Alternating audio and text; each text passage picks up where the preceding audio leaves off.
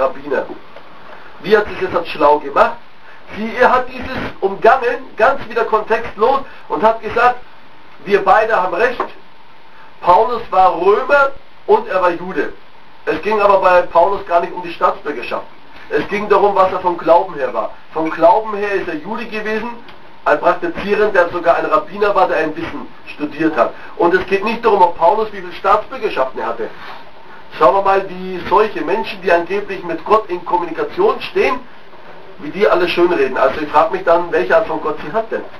Und was für Stimmen sind. Nach meiner Meinung, nach dem, was wir wissen, dass es im Islam ja Geisterwesen gibt, die wir Djinn nennen, hat sie wohl einen Djinn, der mit ihr redet und der Djinn weiß auch nicht sehr viel Bescheid. Der scheint bei der Bibel auch nicht zu lesen und gibt ja dann einfach irgendwelche Informationen, was der armen Frau dann durcheinander bringen. Das jetzt so nebenbei.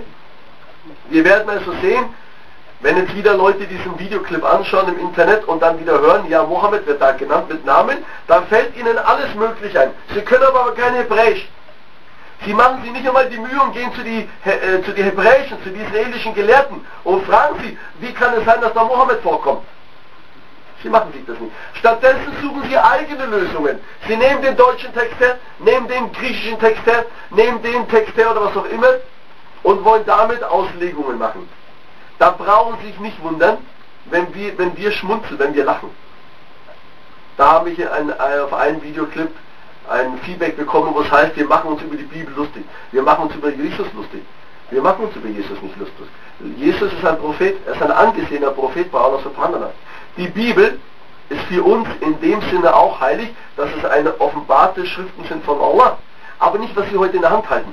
Und wir machen uns selbst über dies nicht lustig, was sie in der Hand halten. Wir machen uns lustig, wenn überhaupt, dann über das, was sie an Auslegung machen. Sie legen etwas aus, wo sie keine Handhabe haben. Und das ist schon zum Lachen. Wenn sie daherkommen, wenn sie sagen, das ist so so zu verstehen.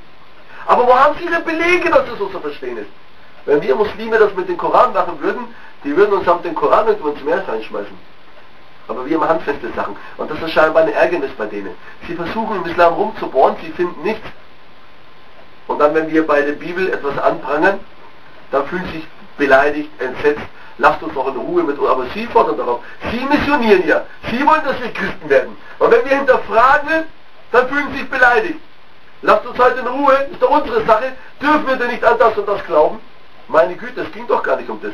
Ihr kommt doch her, sagt der Islam ist falsch. Ihr kommt doch her, sagt der Koran ist falsch. Ihr kommt doch her und sagt der Prophet war kein, Mohammed war kein Prophet. Und wenn wir dann die Bibel unter die Lupe nehmen, und das Sonderbare ist, das, was ich, was ich auch hier nenne, das ist nicht von Muslimen herausgekommen. Nicht Muslime haben diese Bibelwissenschaft betrieben, sondern sind die eigenen christlichen Wissenschaftler, die wo sich mit der Bibel auseinandergesetzt haben, die festgestellt haben, dass in der Bibel zig Widersprüche drin sind, dass in der Bibel Sachen entstellt wurden, verfälscht sind, nicht von den Muslimen kommt es. Und trotzdem greifen sie uns an, als ob wir das gemacht hätten. Wir nehmen doch nur das, was die selber gemacht haben. Und dann kommen sie daher und sagen, ihre biblischen Wissenschaftler, die sind keine treuen Christen. Sie leben das Christentum nicht. Das ist aber nicht unser Problem. Das ist denen ihr Problem. Sie zählen sich ja zur christlichen Welt. Sie sind ja keine Muslime. Also sollen sie uns Muslime keinen Vorwurf machen. Also, um das nochmal uns in die Ohren gehen zu lassen, in der hebräischen Version heißt es, sein Mund ist süß, dieser ist Mohammedim, dieser ist mein Freund und dieser ist freundlich, o ihr Töchter Jerusalem.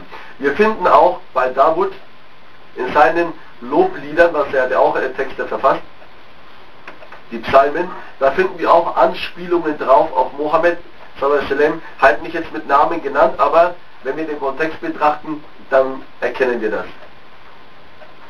Dann Machen wir die andere Stelle im Neuen Testament, im Johannesevangelium, wo Mohammed zwar nicht mit Namen angekündigt wurde, also ursprünglich stand es mal drinne, Ahmed, stand früher mal, hat wohl Johannes der Verkünder oder vielmehr Jesus hat es verkündet seinen Aposteln, aus Ahmed wurde einfach was anderes draus. So lesen wir in Kapitel 14, da wo es anfängt, im Johannesevangelium in Vers 16, und ich will den Vater bitten, und er wird euch einen anderen Tröster geben, dass er bei euch sein Ewigkeit. Die Christen, das Ganze, was jetzt ab hier folgt, beziehen die auf den Heiligen Geist. Hier mit diesem einen Satz stellen wir uns mal die Frage, warum Jesus muss seinen Vater, also Gott, hier bitten und sagen, schick einen Tröster, schick jemand anders. der Heilige Geist nach der christlichen Definition, nach der christlichen Erklärung, ist ja auch ein Gott. Warum muss er zu Gott gehen und sagen, schick mal einen anderen Gott, ich bin jetzt weg?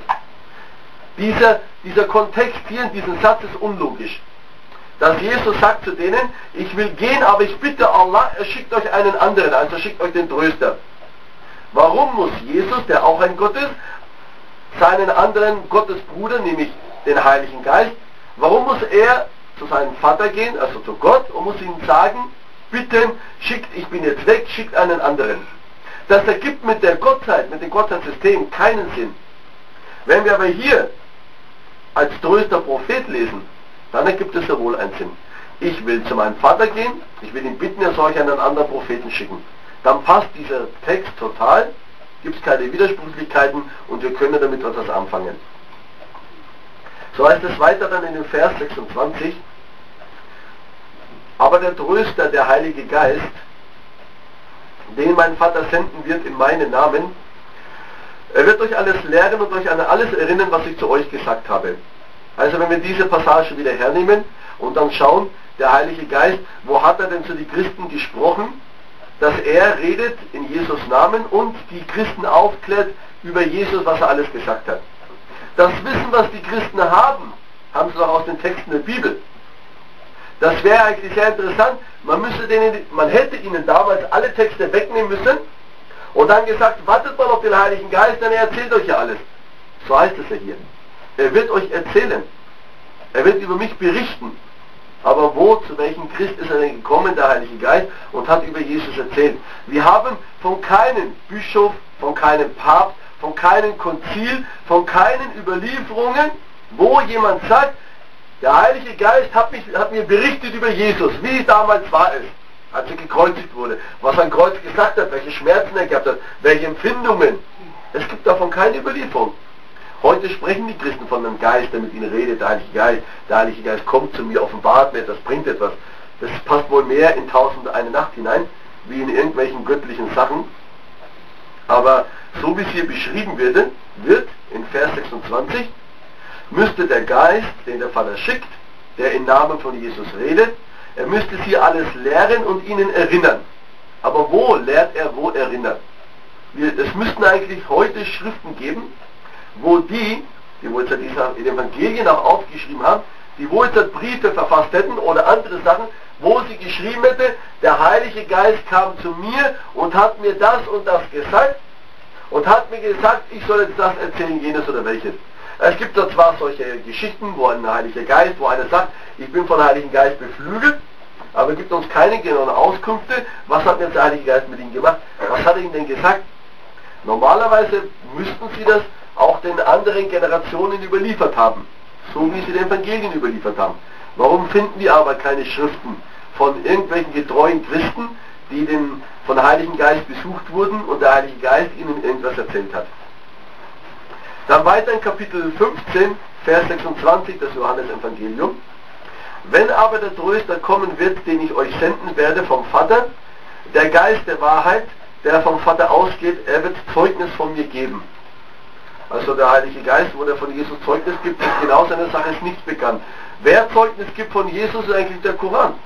Der Koran berichtet über Jesus ausführlich von der Geburt Maria, von der Geburt, also dann Jesus, wie als Baby sprach, und dann wie er auftrat und dann wie er den Unglauben im Volk Israel festgestellt hat und Allah ihn errettet hat vor dem Zugriff, wer es auch immer war, ob es die Römer waren, ob es die jüdischen Gelehrten waren, sei dahingestellt, aber Allah hat ihn gerettet, ob das ein Kreuztod gewesen sein hätte sein sollen oder wie auch immer, spielt für uns keine Rolle. Allah hat ihn einfach gerettet vor dem pöbelhaften jüdischen Volk, das mit diesem Propheten wohl nicht zufrieden war. Im Kapitel 16, Vers 7, da können wir jetzt mal Zeugnis sehen, was wohl unter dem Tröster, unter diesem Geist, Heiligen Geist eigentlich zu verstehen ist. Aber ich sage euch die Wahrheit, also Jesus spricht hier. Es ist gut für euch, dass ich weggehe. Denn wenn ich nicht weggehe, dann kommt der Tröster nicht zu euch. Wenn ich aber gehe, will ich ihn zu euch senden. Und wenn er kommt, wird er der Welt die Augen auftun über die Sünden, über die Gerechtigkeit, über das Gericht.